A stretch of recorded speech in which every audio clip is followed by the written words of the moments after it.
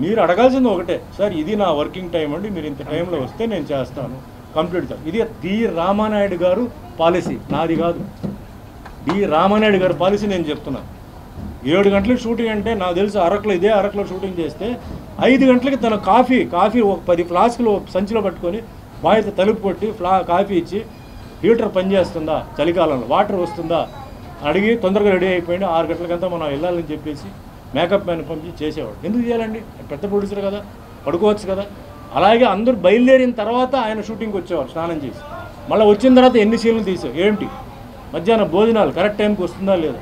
సరే భోజనం చేసి రెస్ట్ మళ్ళీ రెండున్నరకు మొదలుపెట్టి మళ్ళీ సాయంత్రం ఆరు వరకు. అలా చేయాలండి. ప్రొడ్యూసర్ అని చెప్పేసి అలా కూర్చుంటే నడవదు. ఎందుకంటే మిగతా వాళ్ళందరూ దే ఆర్ పెయిడ్ అండి. సినిమా ఆడినా ఆడకపోయినా వాళ్ళకి డబ్బులు వచ్చేస్తాయి. రేపు ఈ ప్రొడ్యూసర్ పోతాడు ఇంకో ప్రొడ్యూసర్ దగ్గరికి వెళ్తాం మేము. మాకేంటి? అందుకే అంటున్నాను మేము చాలా క్లోజ్ అండి మేము చాలా ఫ్యామిలీ లాగా అంటారు. అడగండి అప్పుడు తగ్గించి తగ్గించమని అడగండి.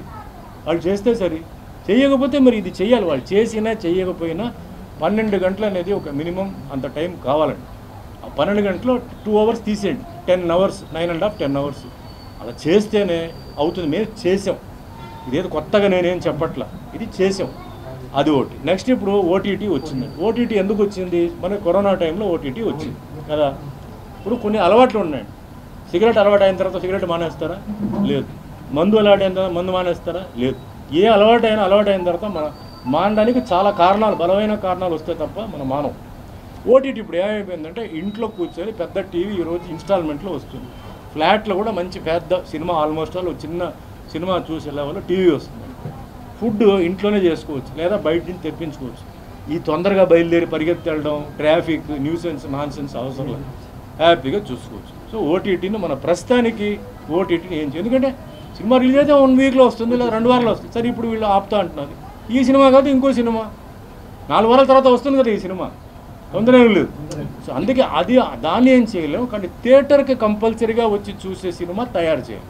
Three special sound effects. ఇంకా ఏదైనా ఉంటే సరే అది మనం ఆపలేము సరే ఓటీటీలో సినిమాలన్నీ నేను చెప్పేది ఏంటంటే కుటుంబ సభ్యులు చూస్తున్నారు కాబట్టి వల్గారిటీ డబుల్ మీనింగ్ డైలాగు పాలిటిక్స్లో రాంగ్ పాలిటిక్స్ని చూపించడం తర్వాత కొందరిని చాలా కామెడీగా చూపిస్తారు.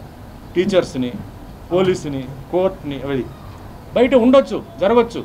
బట్ మన సినిమాలు చూపించి ఆ మెసేజ్ ఇచ్చి వాళ్ళందరినీ అదే దీంట్లో మనం చూపించకూడదు కదా. సో ఇలాంటివన్నీ కొన్ని సెన్సార్ మూలం ఏంటంటే ఓటీటీ సినిమాలకు మట్టికి కొంచెం జాగ్రత్తగా పడాలి. తప్పు మెసేజ్ బయటికి పంపకుండా ఎందుకంటే చిన్నపిల్లలు చూస్తారు టీనేజ్ చూస్తారు మిడిల్ ఏజ్ చూస్తారు ఓల్డ్ ఏజ్ చూస్తారు ఇంట్లో పనివాళ్ళు అందరికీ ఐడియాలు వెళ్తున్నాయి. థియేటర్ అంటారా? థియేటర్లో కావాలంటే మనం ఏమైనా చేయవచ్చు ఎందుకంటే అది వేరే విషయం. Heavy action part item song అవన్నీ ఓకే. ఇంట్లో ఉన్న వాళ్ళు అందరూ కూర్చొని చూసేటప్పుడు ఒక చాలా వల్గర్గా ఒక ఐటమ్ సాంగ్ వల్గర్గా ఇది వస్తే అది ఫ్యామిలీ ఆ యాంబియన్స్ని ఆ మూడ్ని చెడగొడుతుంది. సో ఓటీటీని మనం ఏమి ఆపి సినిమా ఓటీటీని ఆపుతామండి. సినిమా ఆడుతుంది ఏమైనా గ్యారంటీ ఇస్తాడా? ఎవడిస్తాడండి? ఎవడు ఇవ్వలేడు. సో ఏది ఇప్పుడు రేపు ఫ్యూచర్లో ఇప్పుడు లేటెస్ట్గా విలేజెస్లో ఏంటంటే పెద్ద వ్యాన్ అండి. అంటే ఒక లారీ లాగా వ్యాన్ దాన్ని కూడా బాక్స్ లాగా చేసి థియేటర్ సౌండ్ సిస్టమ్. ఇప్పుడు ఒక విలేజ్ ఉంది. ఆ విలేజ్లో వచ్చి ఒక రెండు వందల మంది మూడు వందల మంది ఉన్నారంటే వాళ్ళు థియేటర్కి వచ్చే పనిలే. ఈ ట్రక్ వెళ్ళిపోతుంది అక్కడికి. ట్రక్ కంటైనర్ లాంటిది. ఆ కంటైనర్లో స్క్రీన్ ఉంది. సౌండ్ బాక్స్ ఉంది.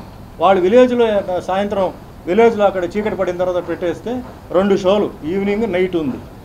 మరి దాన్ని ఏం చేయగలుగుతాం? మనం ఆపగలుగుతాం కుదరదు. సో ఇక ఫ్యూచర్లో ఏంటంటే ఇలాంటివి చాలా వస్తూనే ఉంటాయి. అది మనం ఆపలేం. Content of the film is very important. First point. ఇలా సెగ్రిగేషన్ ఉంటుంది. ఇంట్లో చూసే సినిమాలకి బయట చూసే సినిమాలకి సెగ్రిగేషన్. యూట్యూబ్లో కూడా సినిమాలు చూస్తున్నాం. సో దాని తగ్గ చేయాలి. It is only request it is not an order అండి. ఇప్పుడు సెన్సార్ అంటున్నామండి. యూట్యూబ్లో సెన్సార్ ఉందా? లేవు. మరి సెల్ ఫోన్లోనే మీకు అన్ని పోర్నో ఫిలిమ్స్ అన్నీ వస్తున్నాయి కదా. ఎవడు ఆపుతాడు దాన్ని? ఎవడు ఆపట్లేదు. సో దాని గురించి మాట్లాడి ఏం ప్రయోజనం? ఏం లేదు. చిన్నపిల్లలు చెడిపోతున్నారు. డెఫినెట్గా. ఎప్పుడు ఏదైనా ఒక ప్లస్ మైనస్ ఉంటుంది. ఎట్లా ఆపుతారు మీరు సెల్ ఫోన్లో మీరు పోర్నో ఫిలిం అవసరం లేకపోయినా కూడా ఒకసారి నొప్పితే ఏదేదో వస్తుంది. ఏం చేయమంటారు దాన్ని? ఆపలేము సో ఇప్పుడు అలా అయిపోయిందండి. ఇప్పుడు ఆ సిస్టమ్ అలా తీసుకొచ్చాం కాబట్టి ఇంకా మనం కూడా దాని తగ్గ మారాలి. మనం కొంచెం వేరే అవుట్లుక్లో చూడాలి. మనం ఆ విధంగా జాగ్రత్తగా ఉండాలి. అంటే సినిమా నేను ఒకటే చెప్తానంటే ఎంత తొందరగా ఫినిష్ చేయగలిగితే ప్రొడ్యూసర్కి డబ్బులు మిగులుతాయి సినిమా రిలీజ్ అయిపోతుంది. డిలే చేసేసరికి ప్రొడ్యూసర్ అన్నవాడు ఉండడు. రేపు భవిష్యత్తులో మరి హీరోలే సినిమాలు తీయాలి లేదా డైరెక్టరే సినిమా తీయాలి తప్ప ఉంటారు ఎందుకంటే ప్రొడ్యూసర్స్ అందరూ దాదాపు చాలామంది బయ్యర్స్ అయిపోయారు. సినిమా కొనడానికి ఎవరు లేరు. ఒక ఏరియా అమ్ముడిపోతుంది ఇంకో ఏరియా ఖాళీగా ఉంది. సినిమా రిలీజ్ చేయాలి. అప్పుడు ఏం చేయాలి? ఓన్ రిలీజ్ ఓన్ రిలీజ్ అంటే వాడే బయ్యర్ సినిమా ఫట్ అనుకోండి ప్రొడ్యూసర్ అవుట్ ప్రొడ్యూసర్ ఉండడు సో మళ్ళీ బయ్యర్స్ వీళ్ళందరూ రావాలంటే దానికి ఒక సిస్టమ్ ఆలోచించాలి. బయ్యర్స్ని కాపాడే ఒక సిస్టమ్ రావాలి.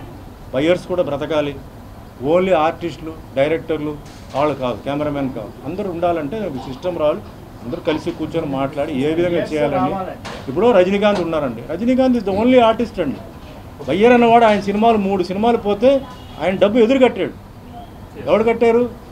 కట్టడం వల్ల ఆయన సినిమాల తర్వాత ఎప్పుడైతే పూజ వేశారో వాళ్ళందరూ వచ్చేసి మీకు ఎంత కావాలంటే డబ్బు తీసుకోండి? ఎందుకంటే మీరు ఇస్తారు ఏదైనా అయితే మాకు ఇస్తారని చెప్పి చెప్పి ఆయనకి పరిస్థితి అటు ఇటు ఉన్నప్పుడు కూడా వాళ్ళు వచ్చి డబ్బులు ఇచ్చారు. ఆ ఒక యాంబియన్స్ ఆ ఒక అట్మాస్ఫియర్ తీసుకురావాలి. నమ్మకం తీసుకురావాలి. అది ఏ విధంగా వాళ్ళు చేసుకుంటారో ఎలా ప్లాన్ చేసుకుంటారో వాళ్ళు చేయాలి.